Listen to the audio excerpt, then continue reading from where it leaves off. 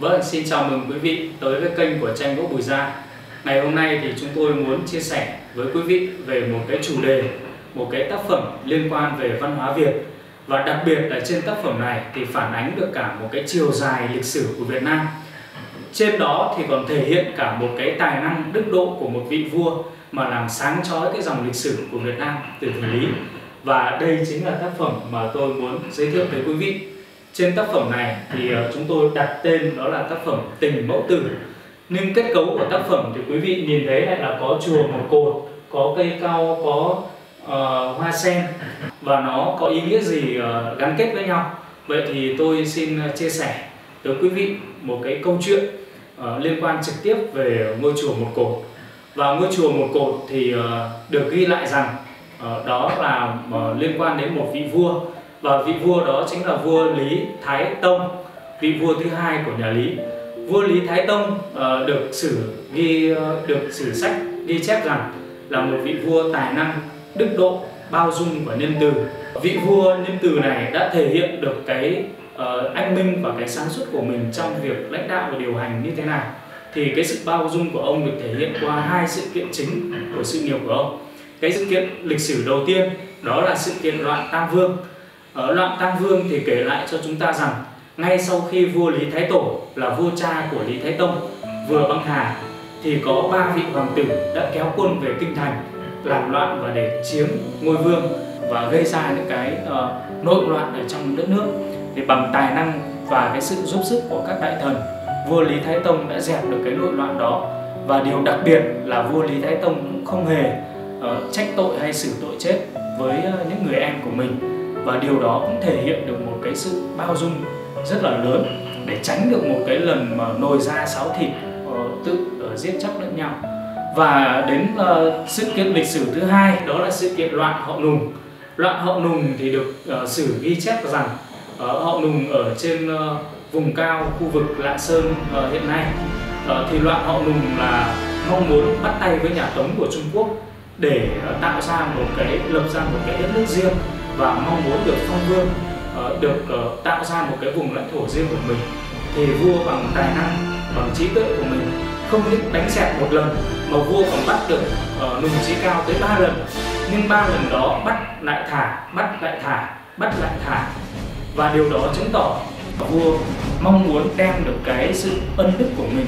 trải khắp cho nhân dân trải khắp cho một cái thời kỳ thịnh trị của mình và tránh được những cái cơn tao loạn ở trong lịch sử khiến cho nhân dân không còn khổ đau. Và hai cái sự kiện lịch sử đó kết hợp cùng với những lần mà vua mở rộng bờ cõi cương vực của ờ, nước Đại Việt sang với những cái nước như là Chiêm Thành hay Ai Lao thì vua đều thể hiện cái ân uy của mình trong những lần uh, chinh phạt đó. Bằng những cái điều lệnh mà ra vua ra với quân lính đó là không được giết chóc những cái người dân vô tội trong đất nước mà uh, sau khi mình đã thu phục thì điều đó chính là điều mà vua Lý Thái Tông đã kết hợp nhuần nhuyễn giữa đời và đạo. Ông đem đời và đạo vào trong sự nghiệp của mình. Và uh, khi ông sống ở đời thì ông đã đạt được đến đỉnh cao của quyền lực của mình. Vua có trong tay được mọi thứ về quyền lực nhưng vua không lấy đó làm niềm vui và cũng không say sưa cái quyền lực của mình. Vua còn có thể đem được cả cái đạo mà trong đây là đạo phật vào trong cái sự nghiệp và vào trong cuộc sống của mình vua kết hợp với đạo để tạo ra uh, những cái uh, sự uh, thanh bình cho đất nước tạo ra được cái niềm vui niềm hạnh phúc cho nhân dân. Uh, câu chuyện kể lại rằng vua uh, sau nhiều năm chưa có hoàng tử nối ngôi thì uh, vua rất là mong cầu. Đêm hôm đó vua nằm mơ thấy Phật bà Quan Âm ngồi trên đài sen và sau đó lại xuống dắt tay vua lên trên đài thì sau khi tỉnh dậy vua đã kể câu chuyện đó cho các vị đại thần nghe. Thì trong đó có một ờ, nhà sư tên là thiền tuệ đã khuyên vua rằng hãy ờ, làm một cái cây cột tám cạnh đó, và sau đó là làm một cái đài sen ở bên trên uh, đúc một cái pho tượng là tượng phật bà quan âm để đặt lên bên trên và thờ thì nó sẽ ứng với cái giấc mơ của ngài. Và một điều kỳ lạ một điều ờ, rất là hạnh phúc đã xảy ra là sau một tháng thì vua đã có tin vui về việc hoàng hậu đã mang bầu. Và uh, tin vui đó chính là uh, vị hoàng tử Lý Thánh Tông đã ra đời. Uh, đã uh, trở thành một cái niềm uh, hạnh phúc của nhà Lý. Và chính khi mà vua kết hợp nhuần nhuyễn giữa đạo và đời như vậy thì vua đã tạo ra một cái cái thời kỳ mà nhân dân còn gọi là bách niên thịnh thế. Cái thời kỳ bách niên thịnh thế đó là thời kỳ mà nhân dân suốt từ những triều đại nhà nhà ngô nhà đinh cho đến nhà lý ờ, đã phải trải qua rất nhiều những cơn sóng gió tao loạn ở trong lịch sử. Và khi mà được hưởng những cái sự thái bình cái ân đức của ngài thì nhân dân cảm thấy vô cùng hạnh phúc và vô cùng ngưỡng mộ ngài. Ờ, thì cái hình ảnh về ngôi chùa một cột trên tác phẩm nó đem lại cho chúng ta một cái uh, suy ngẫm một cái khơi gợi để nghĩ lại và nhớ lại cái thời kỳ lịch sử hào hùng của Việt Nam.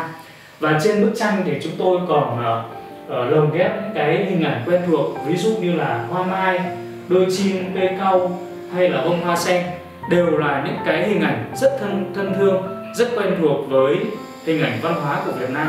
Trong một cái tiết trời uh, mùa xuân để uh, ba mẹ con đi du xuân uh, và lại có những cái hình ảnh thân thương như vậy thì ờ, chúng tôi muốn gửi gắm một cái tác phẩm, một cái suy ngẫm về một cái thời kỳ thịnh trị, một cái thời kỳ mà đất nước ta được bình yên, một thời kỳ mà đất nước ta phát triển rực rỡ như vậy và sống trong những cái ngày ở dịch dã căng thẳng như hiện nay. Thì ờ, tôi suy nghĩ rằng tác phẩm này cũng sẽ đem lại một cái điều suy nghĩ nào đó cho quý vị để mỗi chúng ta